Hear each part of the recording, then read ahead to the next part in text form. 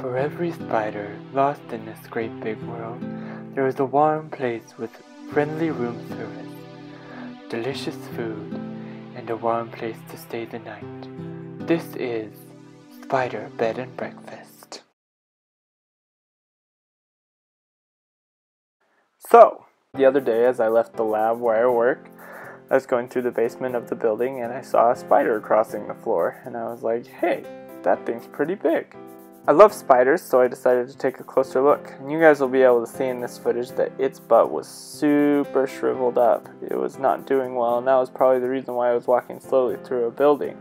So I figured I could take it home and give it something to eat and a nice warm place to stay. And here's a cricket, and you can see it's, it really wanted the cricket. After looking up what it was, I found that it was a Drassodes cupreus, or a common ground spider. And more particularly, it was a male.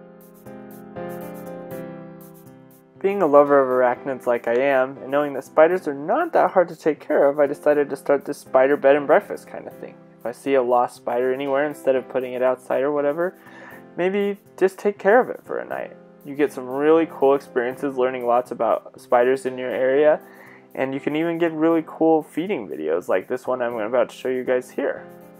The video is a little blurry here, but then you'll see the teeth just sink into the, the cricket and the fight that it gives, and it was just really cool. It was cool to see a spider that was really suffering to find food in a weird time in Utah, and that we were able to give it something to eat. And yeah, that was what stemmed this idea, and so we're going to be doing this with other spiders as well. Just if you see them in need, just take them in and take care of them.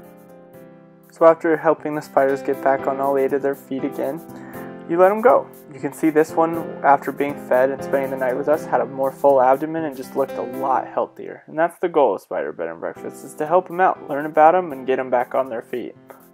So this was me letting the spider go, and this was so hard.